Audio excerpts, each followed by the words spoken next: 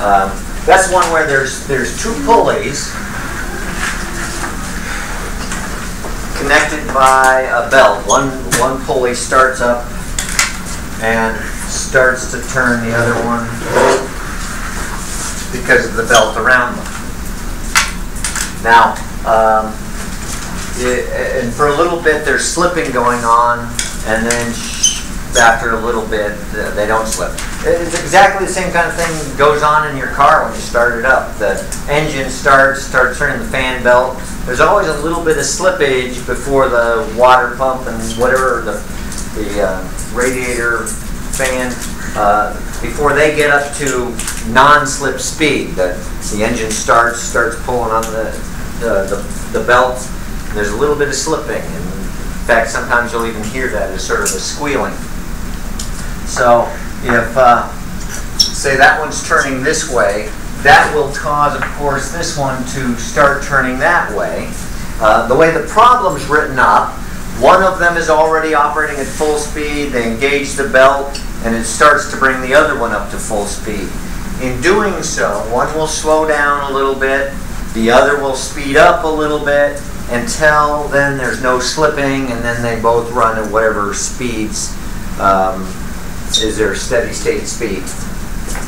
So if you look at those two, let's let's say this one's uh, running that way first, but it'll start to slow down a little bit as it tries to accelerate that one. So if you look at that bigger one, uh, it's already running this way, but it's going to accelerate that way as it starts to slow down. That's because as it's pulling on the belt for the lower one, uh, the smaller one, there's a difference in the tensions of the belt on either side of that. So I, I, just labeled them A and B to call them something. So as the big wheel is pulling on the little one, that'll cause more tension on the upper line than on the lower line. That serves as an imbalance in the torques which will tend to cause the bigger one to decelerate. So if its speed is that way, its acceleration will tend to be that way as it tries to drag the little wheel up to some speed.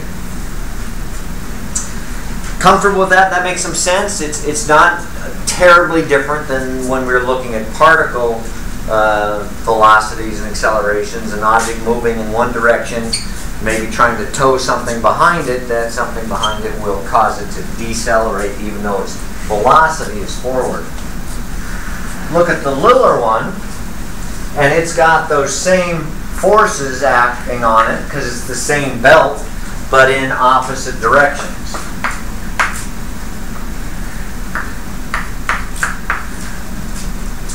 So I tried to draw them bigger if they're bigger forces and smaller if they're smaller forces. So that will cause this one to have then a net acceleration in that direction because there's an imbalance in the torques.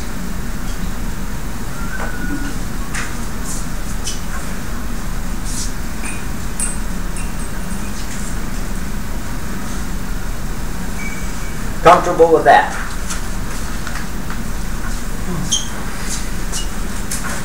Well, you can write that uh, business for this one. Remember that the sum of the torques is going to equal the moment of inertia times the acceleration. That's the rotational equivalent of F equals ma.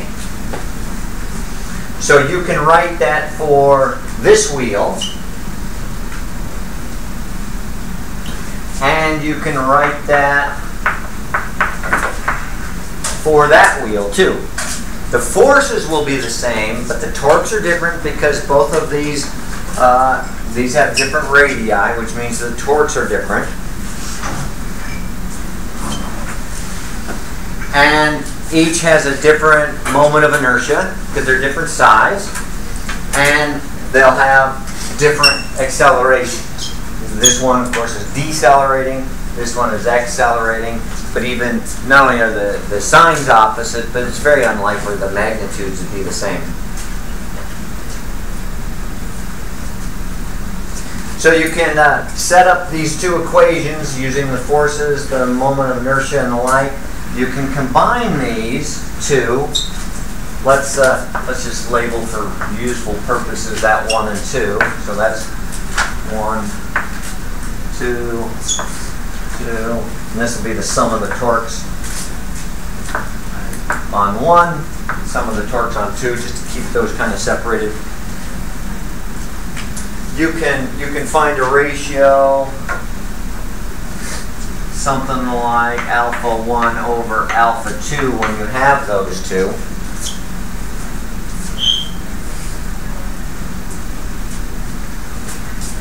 Um, from those equations, but that ratio also will equal, well, let's see, uh, alpha is delta omega over delta t Delta t is the same for both of those, so that'll cancel. So this will be delta omega for the first one over delta omega for the second one.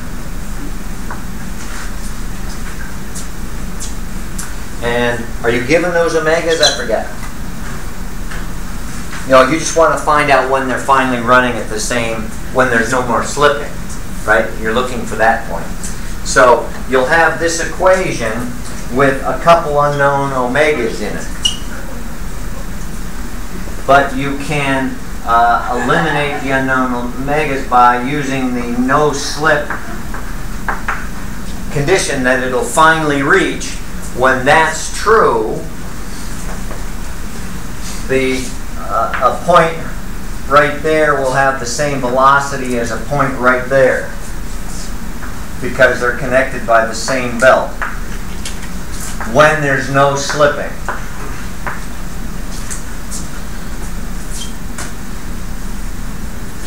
So the no slip condition uh, occurs when finally V1 equals V2. That's not true when there's slipping going on.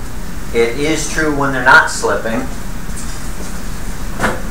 Or R1 omega 1 equals R2 omega 2.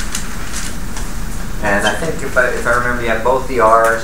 You have, I think, the initial angular velocity of not even that, so maybe the, answer Well, you do, but in terms of variables. Oh, yeah, it'll be in terms of that.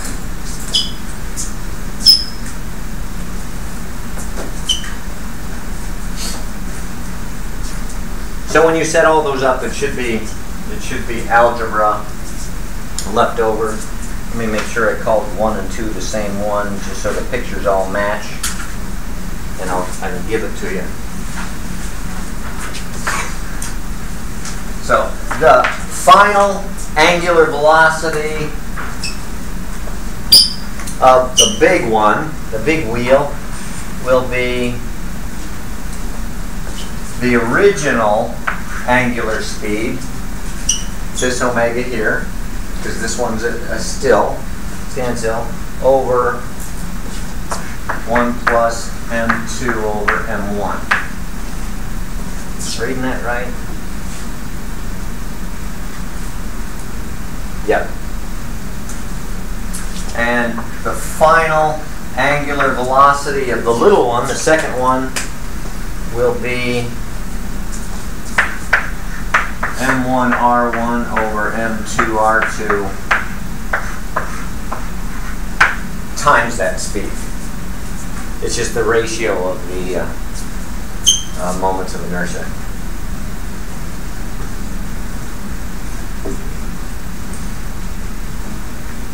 I think that's everything in there. Once you put all that together. Okay. But I'll have these posted overnight anyway, so you can see them.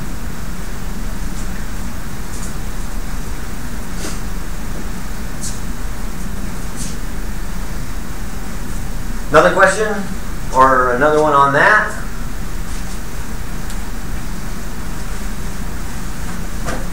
Another question then?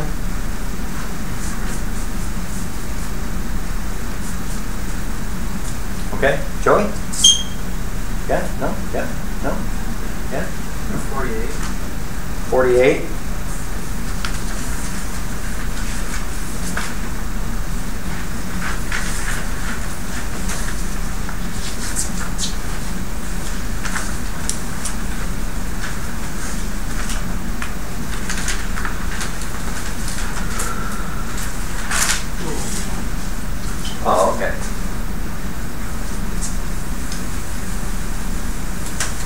This one says that um, proton zips around the two kilometer Fermilab particle accelerator. Uh, that's a large circular track that can keep charged particles like electrons. No, it says protons, doesn't it? Not that it matters terribly. It says protons. It can keep charged particles moving in a circle by the presence of a, a magnetic field. And you'll cover this in, in Physics 3. Uh, but the, the deal is as a, a charged particle is moving with certain velocity through a magnetic field, there's a force exerted on that particle perpendicular to the velocity. And we should recognize, I hope, that anytime there's a force in a particular direction, there's acceleration in that direction if it's unbalanced. And if we have acceleration perpendicular to velocity, we have circular motion. So that's what's going on with the particle accelerator the um, angular momentum. What's our symbol for angular momentum? L. The um, angular momentum is the momentum the uh, object in question, that in this case the proton, has with uh, respect to the center of the motion. So the momentum is mass times velocity, and it's at a distance r from the center. So the angular momentum is r and v. That works. It's the product of these when they're perpendicular, as they always are uh, with circular motion.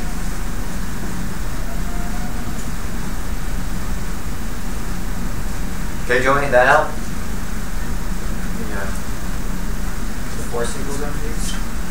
No, force doesn't equal mv. Units wouldn't work. The velocity equals mass times velocity? Velocity is not equal mass times velocity. That- They're in completely different colors. This one's separated over here a little bit. This is a particle of some mass that has a velocity, therefore it has a momentum, mv. This is the momentum. What do we, we use p in this class for momentum, right?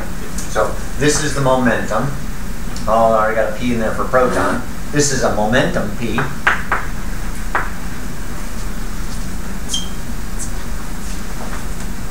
And that's a momentum a certain dis- distance from the center. So that's the angular momentum.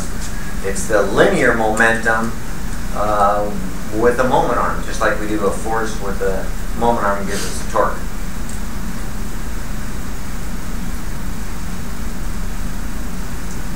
Others?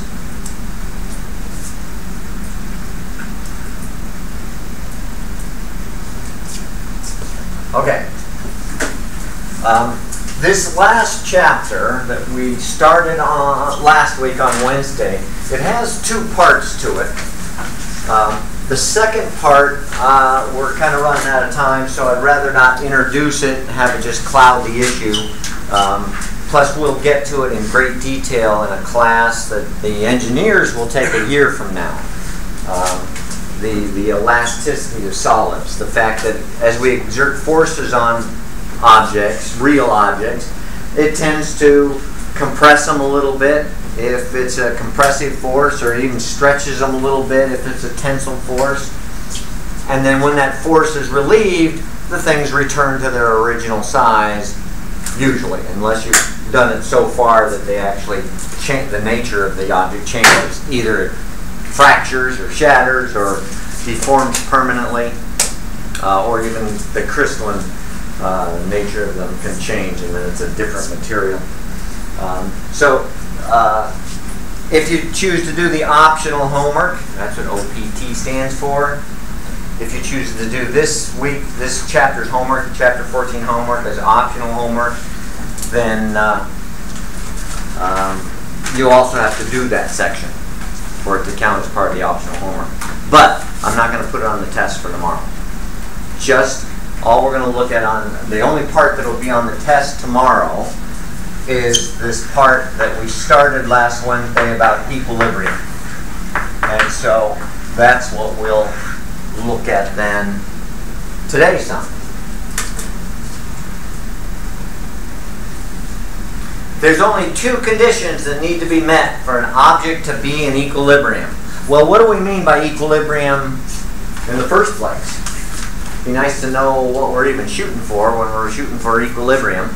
Balance. The object's static.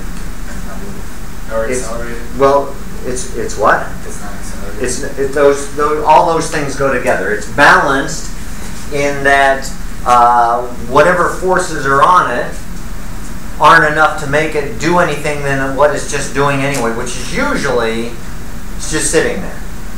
So the the thing we want to be true is that acceleration is zero and angular acceleration is zero.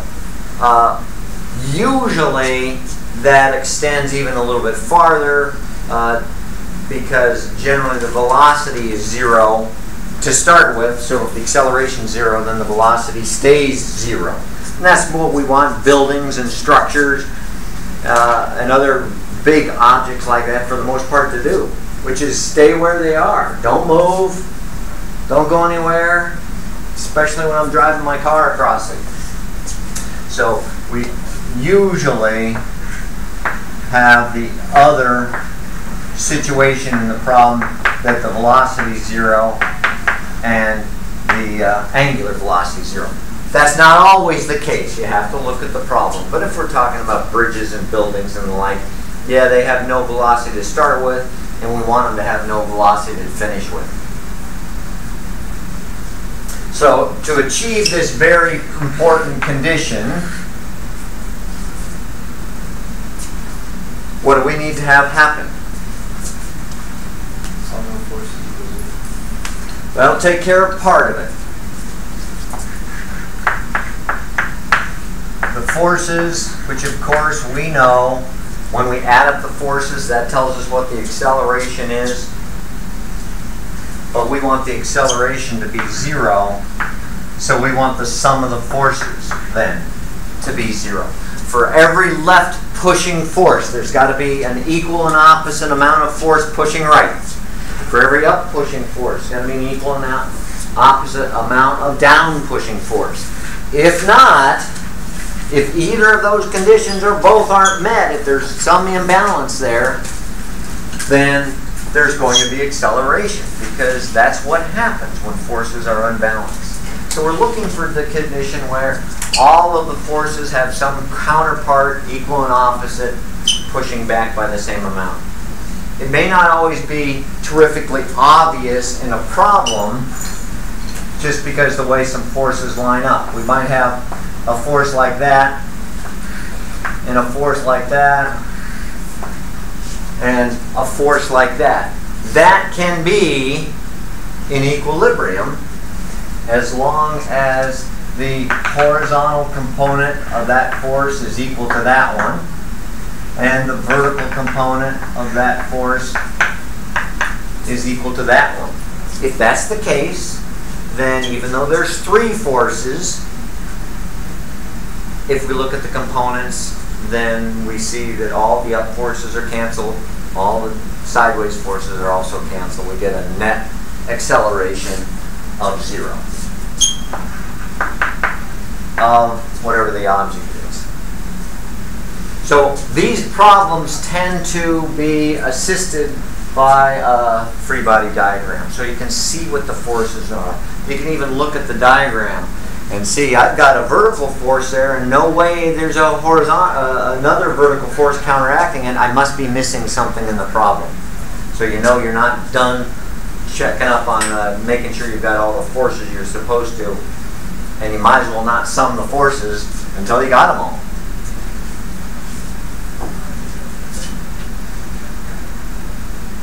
However, this does not alone guarantee equilibrium. Or does it?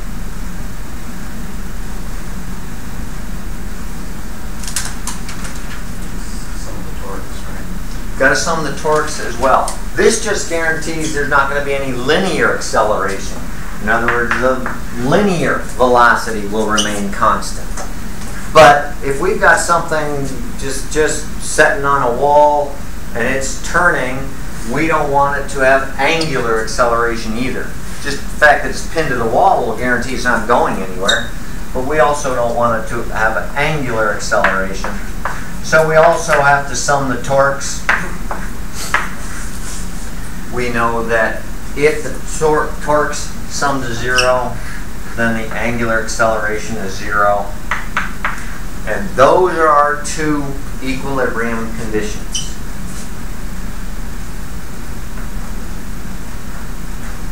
How many equations there for your use? Three. Are you blind? One, two. He said three. You right or is he wrong? And he sits up here as teacher's pet. He's right. He's there are only three equations there, which is sufficient for the problems we do. Which is what? The problems we've been working on, where these three con- equations are. do- does everybody see why it's three equations? Two dimensional. It's two dimensional. We, we do two dimensional problems. Everything that we have that does any turning turns only in a single plane, either the plane of the board if I draw it, or the plane of your paper if you write it down. We don't have things that can turn in all three dimensions, like an object would if it could wobble, not only rotate, but the axis of rotation could, could change shape. So this is okay. This is sufficient for our two-dimensional problems. Three equations in two-dimensional problems. If we had three-dimensional problems, we'd need the full three-dimensional version of those two equations.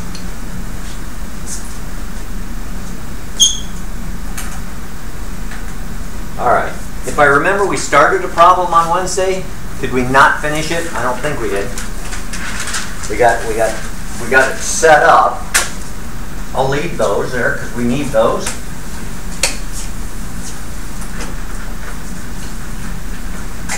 We had uh, well, an eight meter long platform hinged at one end with somebody standing at the uh, at the quarter point. So there's half, there's a quarter. Somebody was right there. Um, 600 newtons and the platform itself weighed something, right? I think 200 newtons. Uh, the force for something nice and uniform density, we always put the force representing its weight at its center of gravity, which for something as uniform density and nice uh, symmetric shape is just right down the center.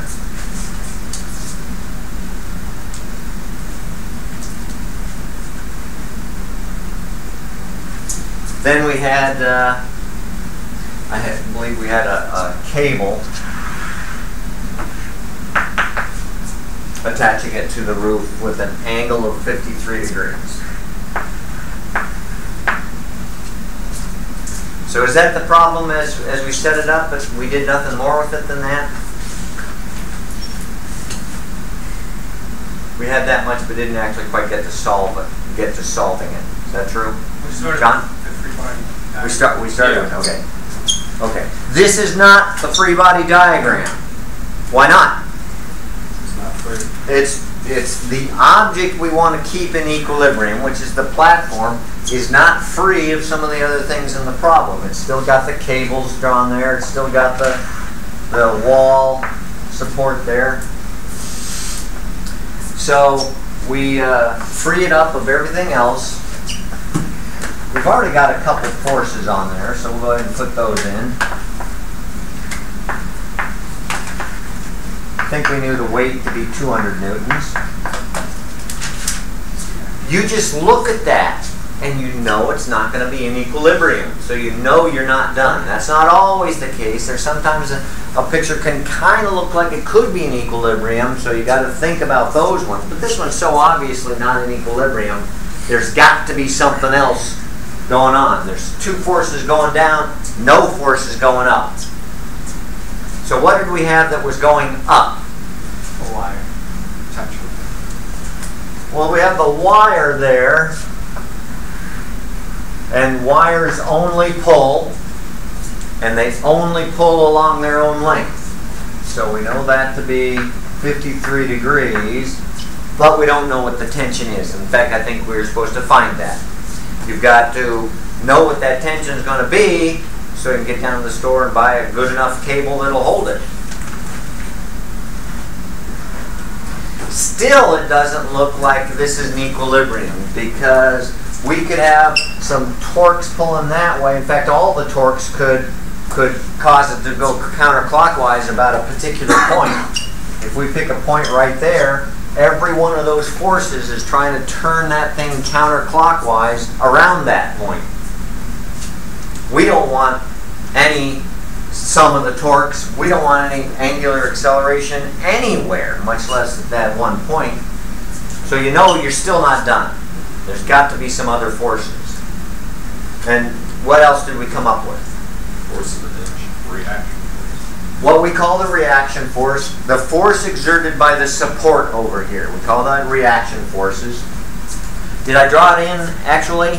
Yeah. Yeah. Yeah, see, we don't know what direction it's going to be. So what we typically do is just make the simple move of uh, already breaking it into x and y components. Um, sometimes you just have to guess which direction it's going to be. Um, seems pretty obvious that that thing's got to hold that end from falling down, so it better have a, a force up.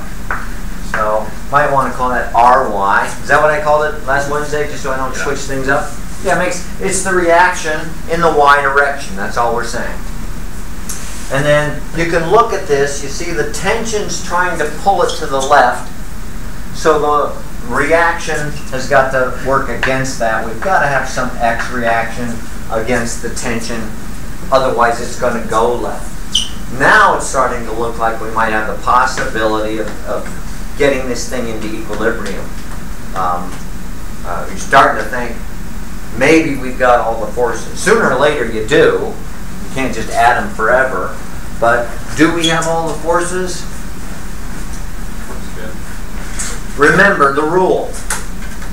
Any force you put up on a free body diagram, what's the rule about it? Has Any force, whether it's in this part of the class where these things always sum to zero, or the earlier part of the class where we let things accelerate, what had to be true about any force that went on a free body diagram? has to be caused by something real, something that I can go point to and put my hand on, I can hold, give it a hug. It's got to be something real. So you can't say, oh, that force is caused by the motion. I can't. You can't touch motion. You can see it, but it's not real enough for you to go touch. That's the rule with the forces. So any others? If there is, there's got to be something in the problem that causes it, and we pretty much have everything in here. So then we sum the forces. Uh, how many unknowns?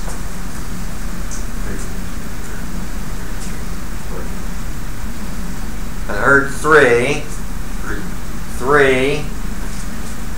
Doesn't hurt to count them up. Make sure you know what you what you're looking for.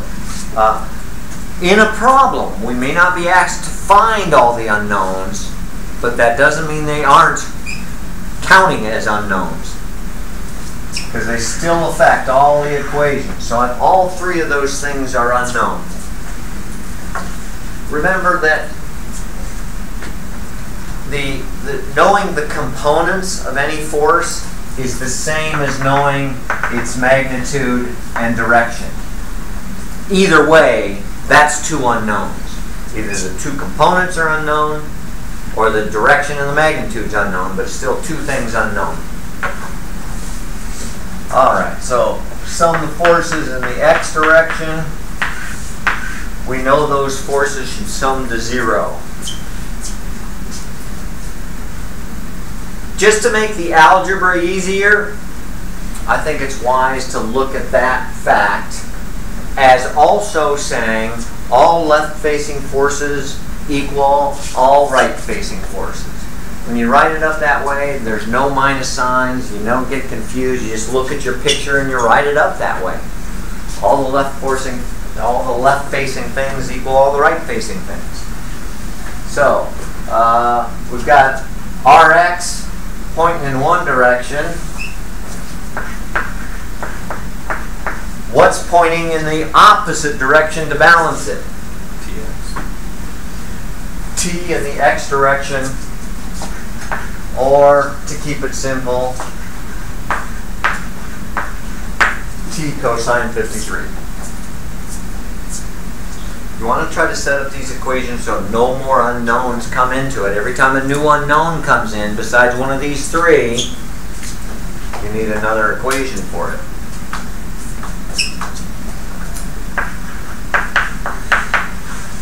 Sum the forces in the y direction. That must also sum to zero. So every up force must have a down force to beat it. So you write it out. You write out the sum of the forces in the y direction. See if we get the same thing.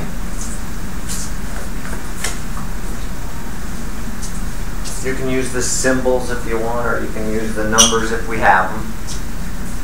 Watch your units. Not too big a deal on this one, but it could be on other ones.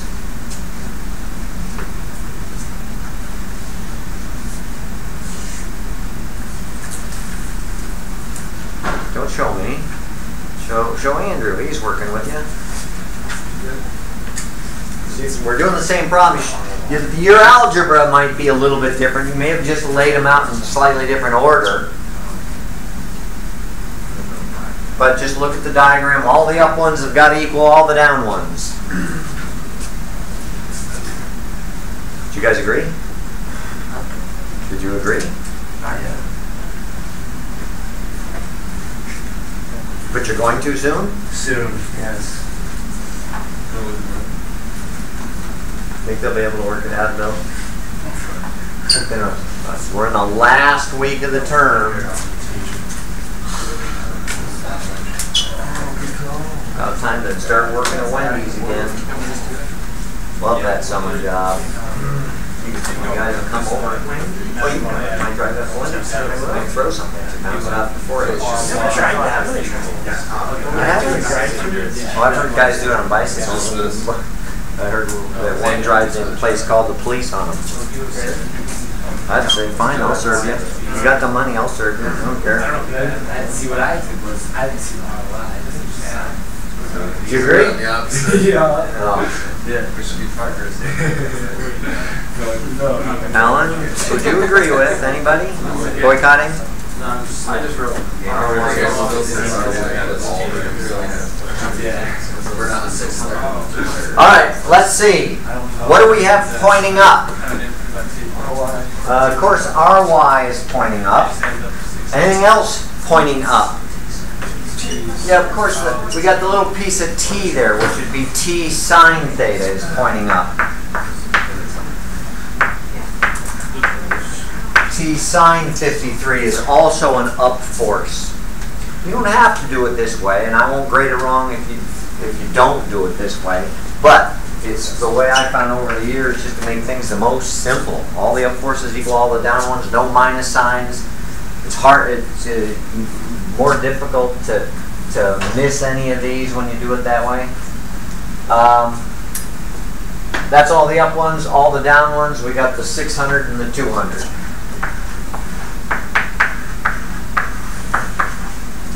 Is that it? So that's that's all three unknowns, but only two equations, so we can't solve it yet. I can't, you can't, and Superman can't. God, What? God. I'd like to see that.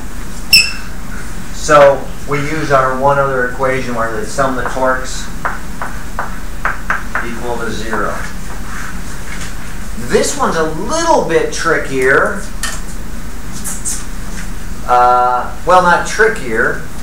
I guess it is. It, it, this is where students will, will screw up a little bit more than others because this stuff, this stuff we we did we started this months ago when we were doing particle motion. It's this that's new in the last couple weeks. Uh, torques are always forces operating some distance from a central point. What central? Point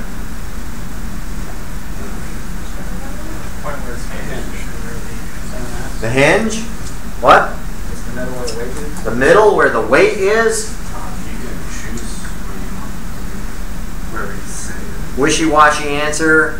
What? Where you say it. Give it to me. Even wishy-washier? It's arbitrary. You need one third MRC. You guys are right.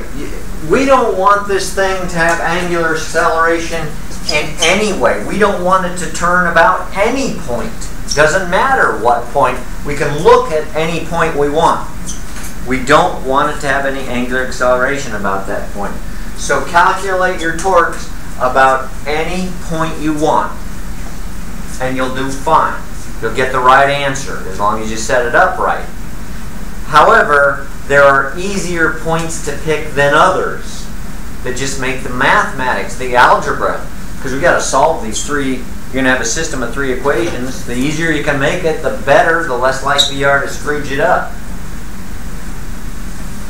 How do you pick a good point? We have a couple possibilities. Let's see. Let's label that one A. That was the hinge. You said that.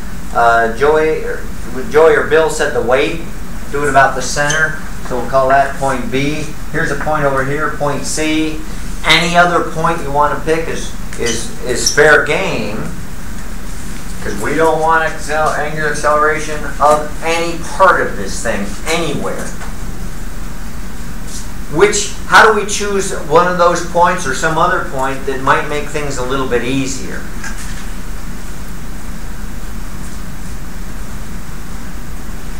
Already got a hinge on What do you look for? Huh? It's already got a hinge on it.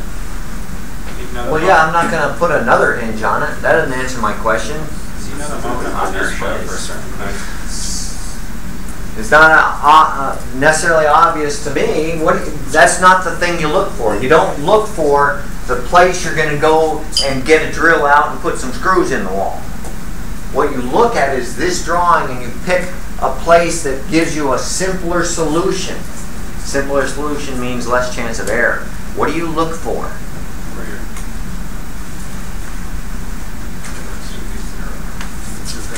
Remember, torque is force applied at some distance from a central point, some distance that's perpendicular to that force. So any point that has forces going through it, that force doesn't exert any moment, any, any torque there, because it's going right through that point. Remember, that's how we set up torque in the very first place. I said we have some object here and some point there. If the force goes right through a point, it doesn't exert any torque. So pick the point, if there is one, where more forces go through that point than any other, they exert no torque, they're not going to be in the equation. It's just simpler. We'll set up a couple just to illustrate it, so so we can all see what I mean. Let's see. Let's let's do a couple examples. We'll pick the easiest one and then we'll write it in down there. So, summing the torques with respect to point A.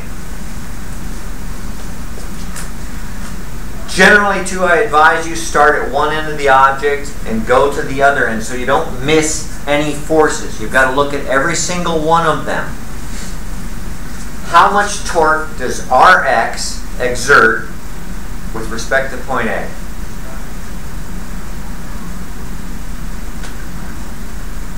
Huh? Why none? It goes right through point A. So Rx can't exert any torque. It's not going to cause the object to twist about point A because it goes right through point A. So Rx isn't in this equation. Step across the thing, go to the next one. Ry. How much torque does it exert about point A? Y0 Goes through the point. goes right through that point. 600, does it exert any tor- torque about point A?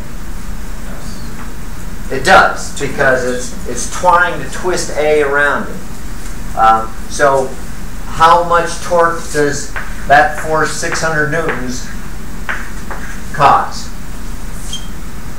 What's its moment arm? Two meters? Yeah, the moment arm, remember, is the perpendicular distance from the force to the point we're interested in. Not just any distance, the perpendicular distance. And if you need to, you can imagine that the force has a line of action. It's the shortest distance from that line of action to the point, which in this case would be uh, two meters.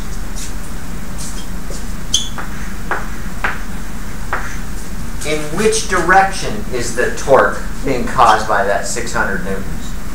Down. Not down. Down's not the right answer for torque. Oh, uh, uh, clockwise. Clockwise. If you're pinned here at point A, that force is going to try to make things go that way. We're going to stop it somehow, but that's what it would tend to do. So this will be uh, all the clockwise torques on this side. remember, we want to make all the clockwise torques equal all the counterclockwise torques. Uh, the 200. Does it cause torque? Yes or no? Yes. Counterclockwise. Yes. What's its what's the size of the torque the 200 causes? Clockwise, uh. Force times moment arm. The moment arm here again is the perpendicular distance out to the line of the force. That's 4 meters, so this is 200 times 4 meters. And in what direction? It's pulling down, point A's over here. It's also going to try to turn the object that way. We're going to stop it, but it is also a clockwise torque. 200 newtons at a moment arm, a perpendicular distance of 4 meters.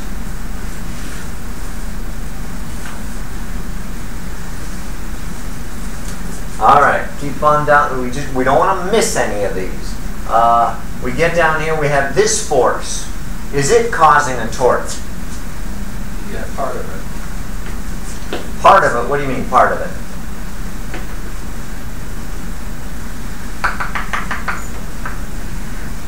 Part of it acts like that. Uh, not ty. tx. Uh, that's what we had right here. We've already used it. And part of it's acting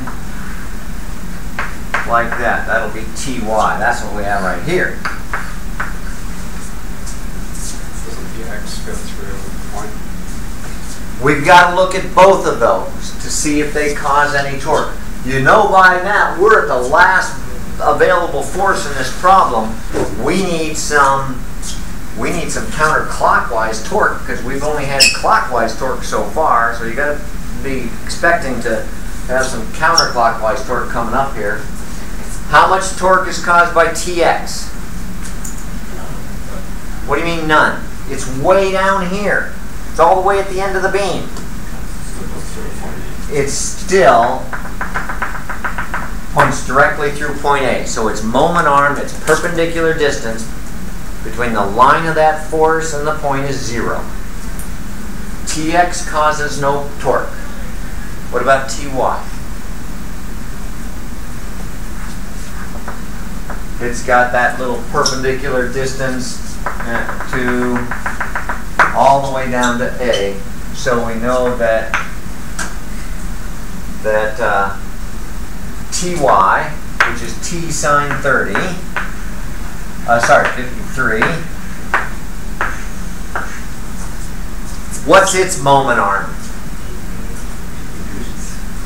It's the full eight meters. Its perpendicular distance back to point A is a full eight meters, and it's trying to turn things counterclockwise.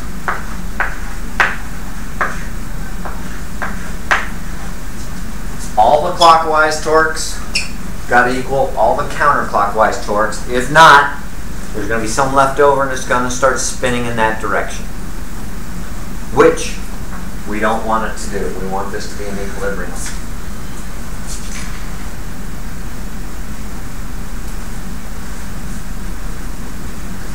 How many unknowns in that equation?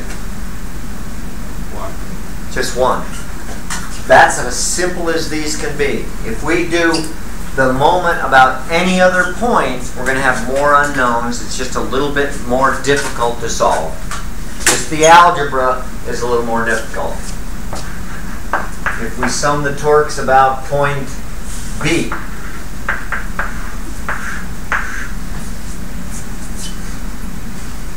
notice W causes no torque, but now RY does and TY does. So you have two unknowns in the one equation. It's just a little bit more difficult to set up.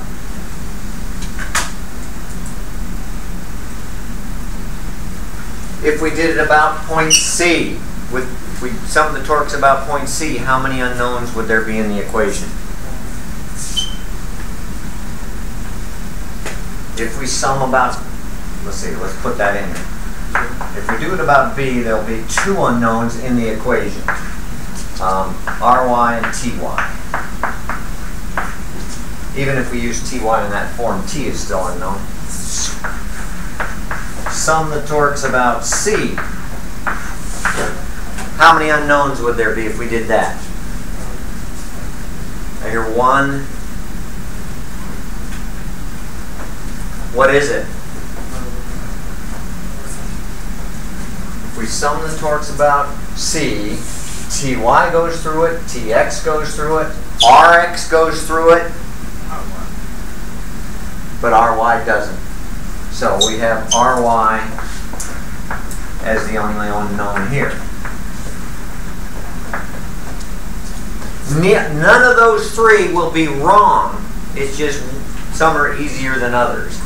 The A and the C equation, just a little bit easier, that's all.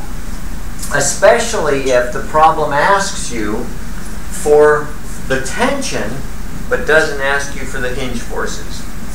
This equation will give you the tension, and you forget about the hinge forces if it doesn't ask for them. Because this one will give you the hinge forces, but then you can use it to solve for the tension. Just more steps. More steps, more chance to screw you up.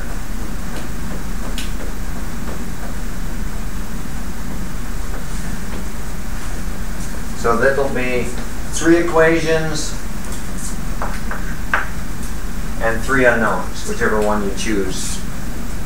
Whether it's A or C doesn't really matter.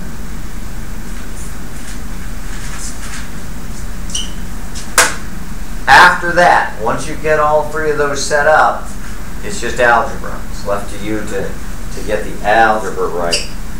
Which of course you would, wouldn't you? Did anybody do this problem? Get some numbers? At three thirteen. Right. The tension's 313. So you can do these and double check this.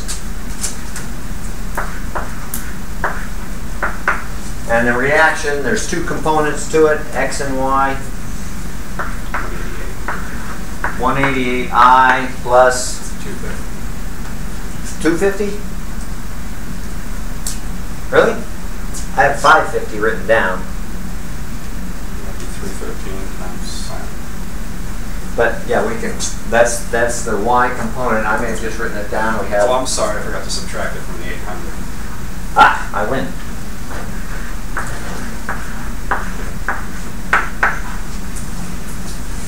So you can, you can check those numbers.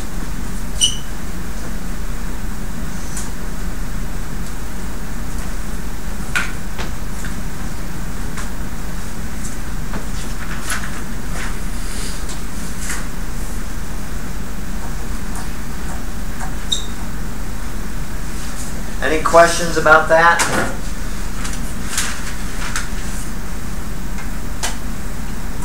Be careful with the algebra. It's easy to screw up. You don't want to lose the points there in a physics class.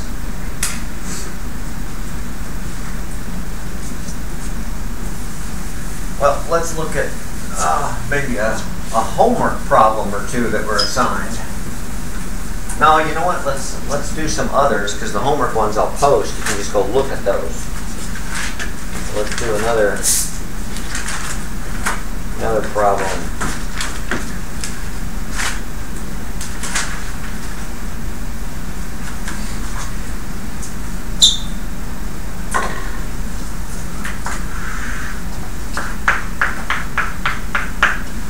Here's a suspension of a traffic signal. Let's see. Uh, red, yellow, and green. It's pretty green, isn't it? That is green. Oh, uh, wait, wait, I know what to do. Blue, yeah. That looks kind of green now, doesn't it? Well, shut up. You're driving me nuts. Maybe July and closer together. Huh? There you go. Is that kind of greeny Getting there. back there?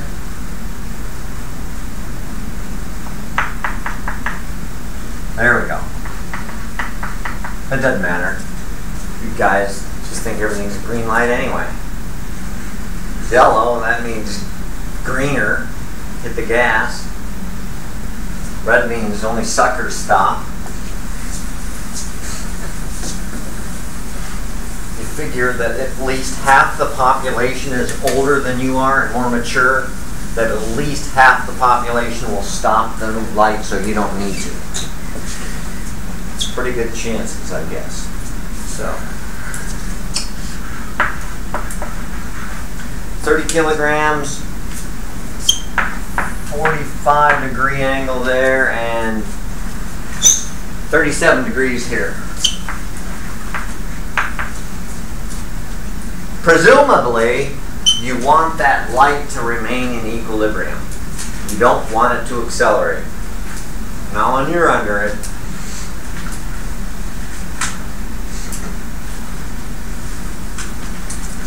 if we don't want it to accelerate, we know then the forces must sum to zero and any torques. We're only doing 2D problems, so we can skip this side.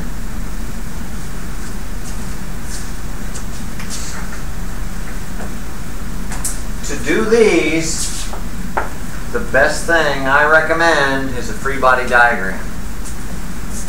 Of what? Or street lights. A what? Hardwood forces. A what? Hardwood forces. No, free body diagram of an object. Street light. The street light, let's try that. So here's the street light. You draw any forces on it.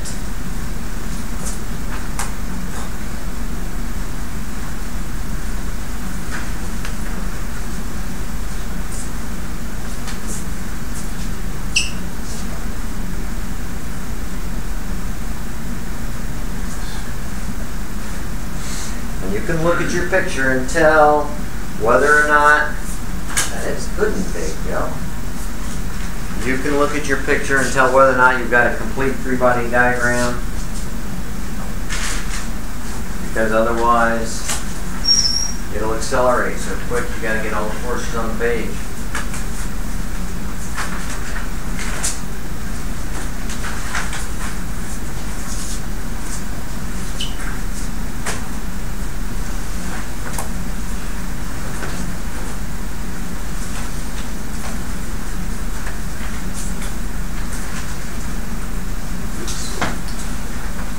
Got it? And how forces on it? Three? Name one. Pat, give me one. The weight. The force of gravity acting on it. Straight down. Uh, do you have that number? Or is that an unknown? 294. Yeah, we don't have it, but we've got the mass, so don't consider that an unknown. Just do W equals mg and don't, don't uh, fiddle around with making too many unknowns.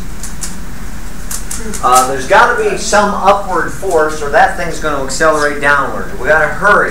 The highway department wants it left where it is. Joe, another force? Uh, tension from 37 degree wire. 37 degree wire. So, like that? Is that 37 degrees, that angle? Yes. What's that force's name? Name it after Joe. You might want to just name them T1 and T2. Keep it simple, but keep it helpful. You look at that, you know that at the moment it's going to take off to the right. So there must be something to the left. And of course that's the tension in the other line.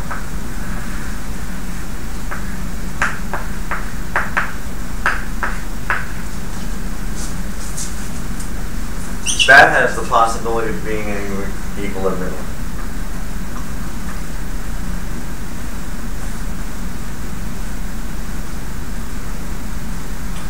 How many unknowns?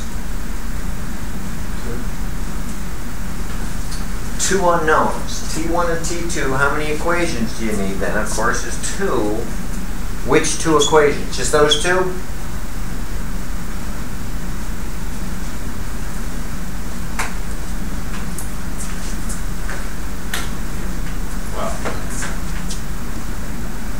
What do you do when you have two unknowns, three equations? There, what do you want to do? You save the extra equation for the next problem. Carry it over. Sometimes you can write it on a little piece of paper and put it in your wallet and pull it out for the final. My, you know, like a like a Monopoly free equation card. Substitute. Grant the bearer one free equation of his choice. What do you do when you have fewer unknowns than available equations? Substitute. Write out the equation and see what you have. What it usually means is you don't need all the equations. That's all. You can solve the problem with two equations. You only need as many equations as there are unknowns, even if there are more equations. So, is this going to be a useful equation?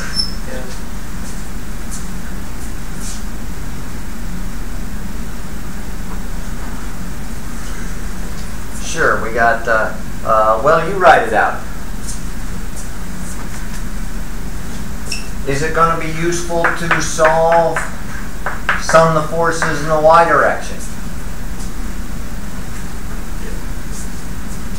It's useful as long as it, those two equations are independent, which they always are. The x equation is always independent of the y equation for the forces. And as long as it doesn't introduce any more unknowns.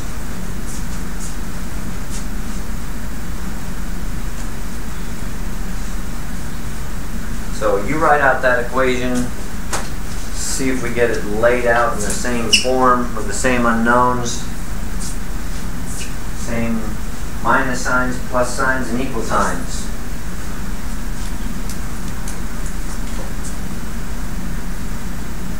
It's kind of a green tent. You, you had a green tent. You, you need yellow. Is that yellow? Finish your drawing. Yeah. Come on here, Joe. Show some artistic flair.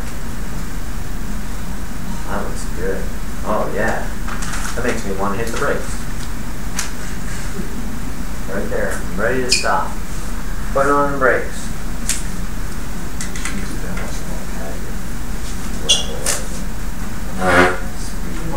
Huh? Yes so don't listen.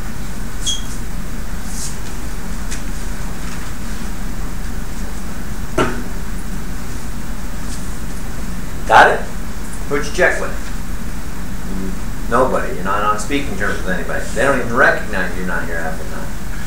Is Andrew, by the way, everybody. Introduce yourself. Make them feel welcome here in the last week.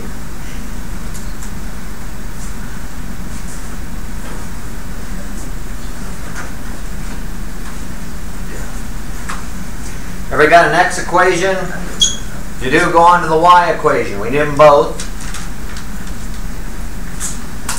Well, we hope that's all we need. We only need two equations. hope it's these two. They're our favorites.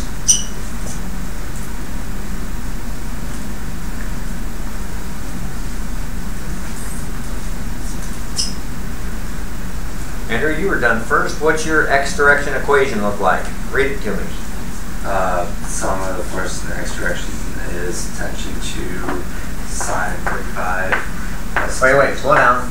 T2 sine 45.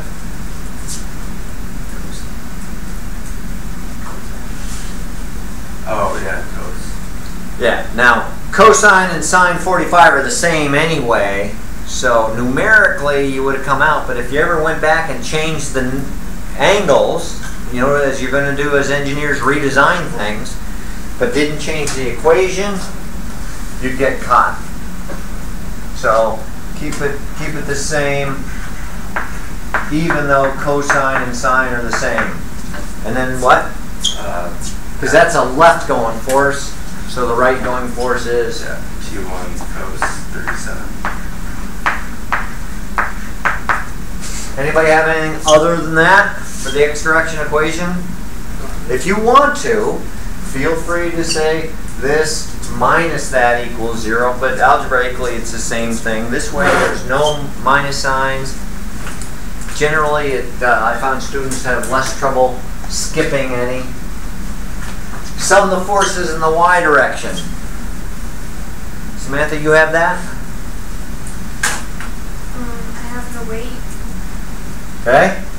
equals like T1 in the y direction, T2 in the y direction. All right, but if you write T1y and T2y, it looks like you've introduced more unknowns. If we write it that way, then we're already okay. So that would just be the sign of those two. But you can make that step independently if you want. It's not incorrect. Is that sufficient to solve that problem? Yes. Not yet. Well, you have to do algebra. So the system is sufficient. Yes. Why don't we need the torque equation? So there's one. I mean, yeah, we don't need it, but is there a physical reason we don't need it? This is a physics class, not an algebra class.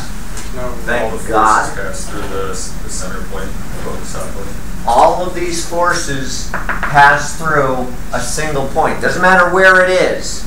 Anywhere, there's a, if there's a single point, all forces pass through it. There's no torque exerted at all. If you did the torque equation, all you're going to get is the very helpful solution that zero equals zero. Because all the counterclockwise torques are zero, all the clockwise ones are zero. So zero equals zero. It's, it's comforting to know that that's still true. It hasn't changed over the weekend. Lots of things did, especially last night. Everybody got that news? Yeah. Yeah. Not me, I slept through it. Um, so we don't always need all the equations, but that doesn't mean this doesn't apply. It doesn't, it just it has a trivial solution. Joe? Would it be the if the tensions were going to the corners of the of the light, right? Like they still go to that point? Oh, that's how I drew it. I don't know if that was. like this, if the, if the cables were actually over there. You tell me. That's it, yeah.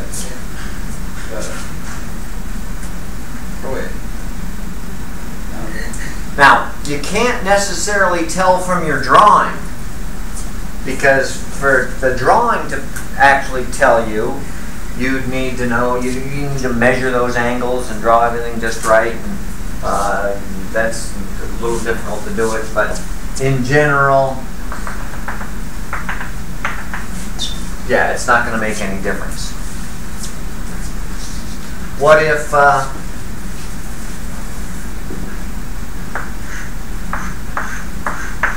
what if that was hanging down on its own line? Now what do you do the free body diagram of? Huh? What should you do the free body diagram of now?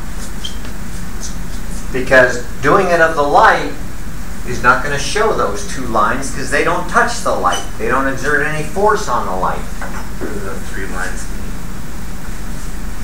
Nothing can accelerate in this problem. So why not do a free body diagram of the knot? I guess it's not a knot with cables. But the, the place where those all three come together will still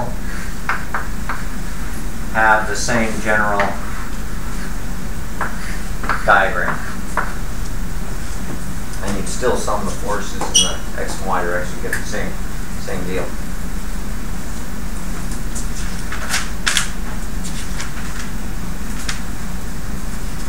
Gee was uh, maybe a get out of class question.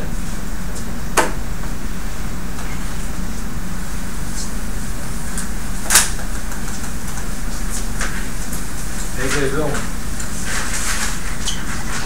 What do you, Joey, what do you say? You want a big X on your nice blue shirt? What do you say? You do? You go ahead with the X? What'd you say, Mike? Make it a good one. Make it a good one. Why wouldn't I make it a good one? All right. Imagine the uh, the human arm.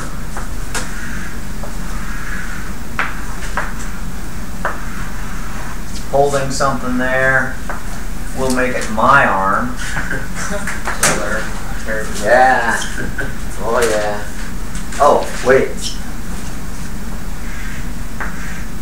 Barbed wire tattoo. Yeah. USMC. Sure. Of course. Yeah. You, you know, I, I don't come to class in sleeveless shirts. That's why I, they, they said stop showing your your intimidating tattoos. Would be intimidating, wouldn't it? So there you go. So we'll model this as as a, a simple set of forces where uh, we have a, a, the elbow there about which everything pivots. There's this muscle and tendon that pull up in that direction. We'll also say that whatever this weight is here, we'll call that six kilograms. And let's say the forearm itself weighs one kilogram.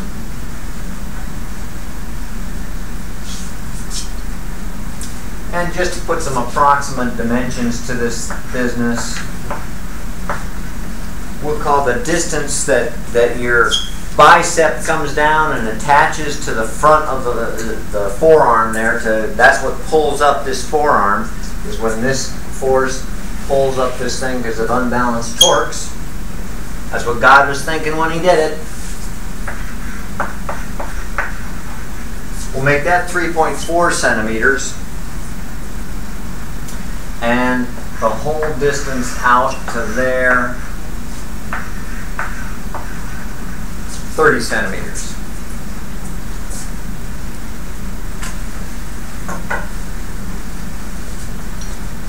All right, I want you to find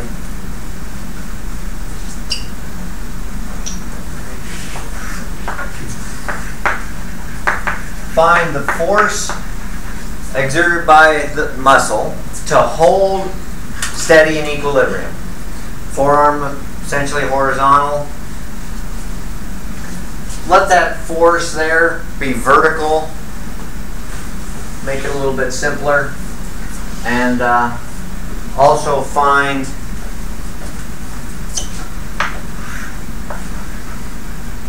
find the forces in the elbow. which we call feld.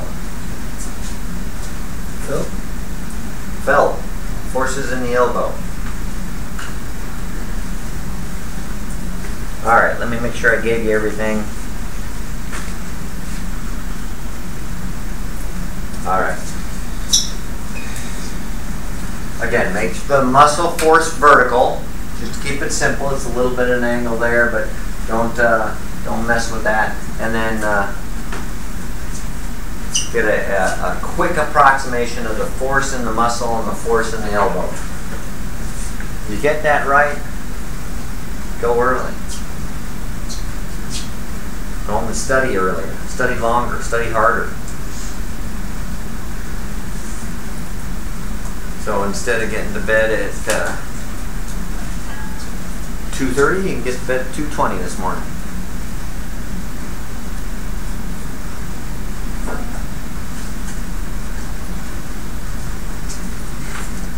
Oh, and you guys that uh, only have two hours, if you want to, you can come earlier and get started at 8. You, I don't think you'll need it. I hope you won't need it. I, I try not to make a test that goes anywhere near the three hours, but just to be fair, So I you. Who else has to leave early? You, Mike does. Well, you're, but your assistant, you, you need, use Malcolm for, I don't know if this thing, uh, the steamboat here last night. okay. So, Mike, John, if you want to come earlier, you have to find me. All, the, my class in here will be taking an exam at the same time, so I'll just be around. Just call me and let me know you're ready. Got an exam right after that. Okay. It sh- like I said, it shouldn't take you that long, but just in case. But it would give us a few times. uh, if you feel it. That's true. Reduce the pressure for both tests. Do better.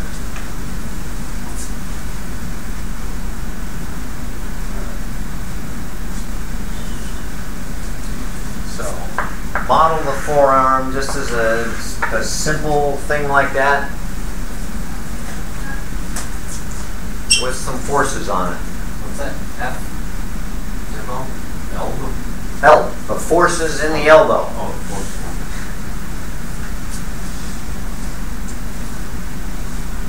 It's possible that you're lifting enough weight you could bust your el- blow your elbow apart. Nothing cooler than watching those weight guys kill themselves trying to impress the girls across the across the gym. Len, we ought to pull up that one picture of that. Uh, was that USC football player that dropped that barbell on his neck? Oh yeah, Yeah, that was fun. That was. Ugh. that was the dude from the Olympics. Um, he was doing like a clean press or whatever, and like his arms were always had, and basically his arms collapsed on him. Oh no, that other one too. The guy was. No, I was talking about the guy who was bench pressing, Yeah. and it Oh. slips and drops on his neck. That guy. Yeah. He died. No, we're always looking for Darwin to take out one more football player for us, but not this one. Persistent bastard. So even if he did live, he should say, "Well, God didn't want me to live, so I better not have children."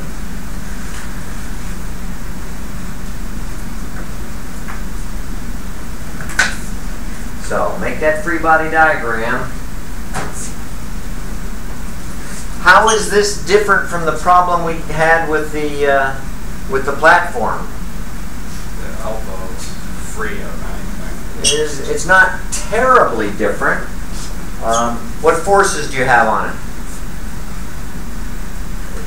Wait. Its weight, which is the fact that it has a kilogram mass. So the arm weighs a little bit of something. Call that warm.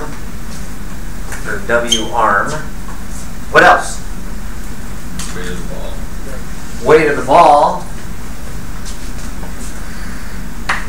a little bit bigger because there's six kilograms there, but that's just mg. Quick, what else? There's got to be some forces up. Yeah, the muscle's pulling up, and we're going to model that as vertical 3.4 centimeters out here. We're looking for that one. What else? See, right now, that doesn't look, well, it could be an equilibrium, because those are pulling down, that one's pulling up. If we did it about here, those pulled clockwise, that pulls counterclockwise, we might be okay. What other forces? Force the elbow. You need something to fix the What? elbow. first. Yeah. Yeah, fix it to the position. Well, the, we could use um, some X direction. This we'll call it L, I mean in the Y direction. That's Felby.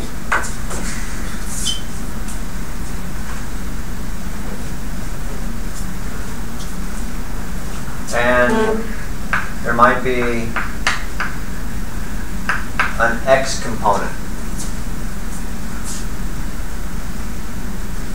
Who wants to calculate the size of the x component here?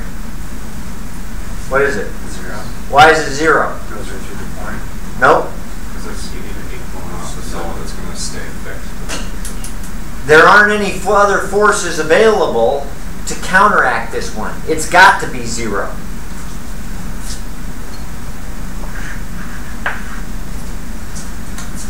First, you have to make sure there aren't any other forces. That one's got to be zero. Now what?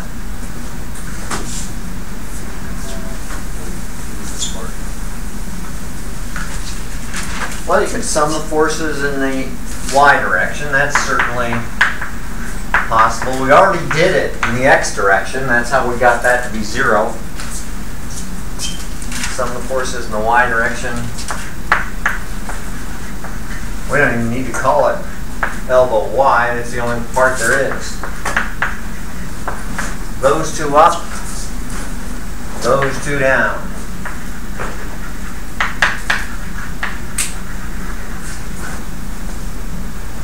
How many unknowns? Two. Sum the torques about which point?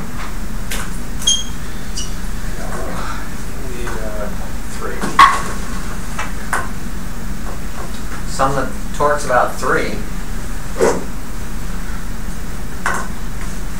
FM. Sum the torques about which point? Oh, well, let's make it the elbow. Uh, any point's okay. If you make it the elbow, then that force isn't in the equation because it goes right through the point. If you make it here, that force isn't in the equation because it goes through the point. So just for the last little thing to illustrate, I'm going to put it there. Does anybody see problem? Need to find FM. Huh? Need to find uh, FM, so that we don't. Yeah, but you you can find elbow here. And just go back and find FM there. What? There's some problem here. You don't know where the way of the arm is. No, we'll take the weight of the arm in the center. That's fine. Just we'll just put it in the middle of that 30 centimeters. Good enough. Remember, it's just an approximation here. You're gonna have two unknowns, so. You do it that. Doesn't matter if we have two. Un- no. Why are there two unknowns? If we do it through point A, FM's not in the equation.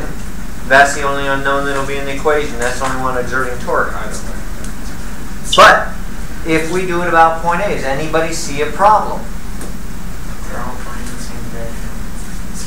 About point A, that's doing a clockwise torque. This is doing a clockwise torque. What's this one doing? A clockwise torque. What's wrong? Your elbow can't. Huh? The, the elbow cannot. Go. Yeah. I just drew that in the wrong direction. It was just a guess. I'm not sure which direction. Now I know it should be down. You know, a little bit more. It's got to be down to counteract the torque of the other two, and you can then finish the problem.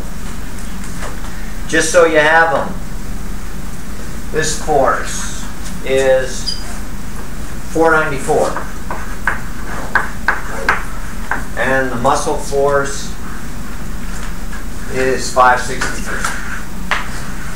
So you can check those, make sure you get them. Uh, by the way, this is actually down, not up. If you ever pick the wrong direction and you solve the problem, you get a negative number, it just tells you you did it in the wrong direction, nothing more than that. If it's down, you have to change that for water. Yeah. If- Or you can just leave it like that, you'll get a negative number and you say it's, it's up in the opposite direction. So you said you're gonna post it on search and sense. Yeah, I'll go do it right now so I don't forget it.